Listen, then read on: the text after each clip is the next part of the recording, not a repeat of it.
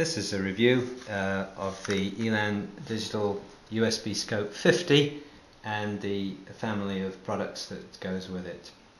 First of all, uh, in the box, uh, the USB Scope device itself, a USB uh, extension cable, uh, which is uh, you can use optionally with the device, and a header which allows you to stack multiple scopes together and synchronize them.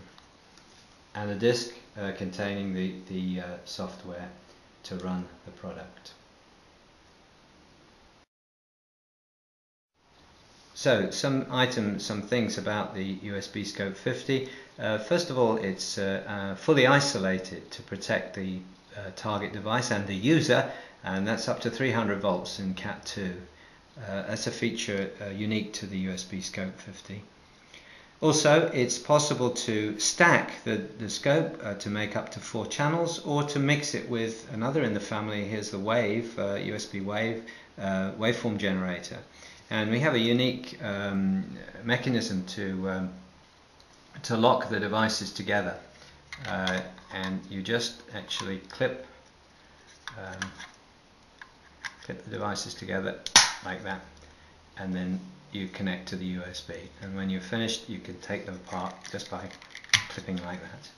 And there is a, a connector which goes into there which allows you to do a synchronization for the devices once they are uh, locked together. Those are unique features for this device.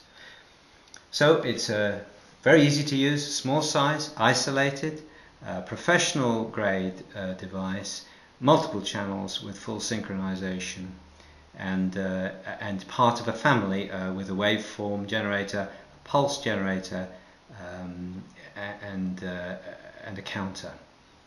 So that's the USB scope family.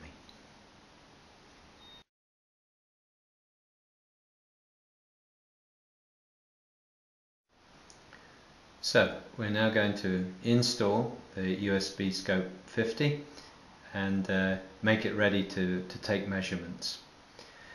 Uh, so uh, we obviously uh, install and plug it into the computer. Uh, we could use the USB uh, extension cable or go direct. In this case we'll, we'll go direct into the USB port.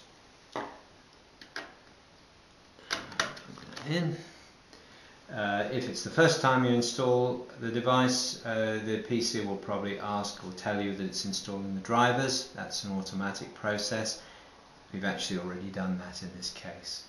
So now uh, we open the application, software. It takes a couple of seconds to load. And now we have the interface ready to take uh, measurements and uh, you can see there are a number of settings, uh, all the usual settings you expect for for a scope, professional scope, and uh, uh, very easy to use, very intuitive interface. So the scope uh, is very small and compact as you can see, very easy to transport but delivers a really professional um, performance.